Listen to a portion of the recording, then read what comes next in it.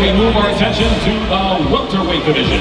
First to the scale, he holds an undefeated pro boxing record at 2-0 and makes his bare knuckle debut tomorrow night. From Hickory, North Carolina, by way of Brooklyn, New York, here is Tony Loco Soto.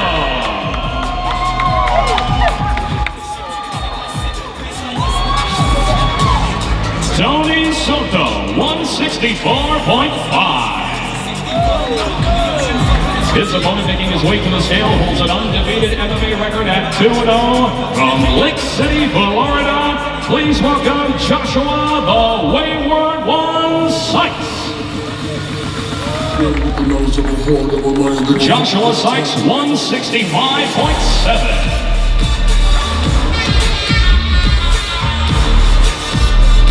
Fight number five. This is on our main card tomorrow in the welterweight division. Joshua Sikes taking on Tony Soto.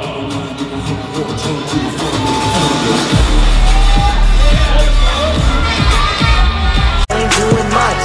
Take a step back. Cause it's Elie ain't doing much. Take a step back. Cause it's Elie Seckbach.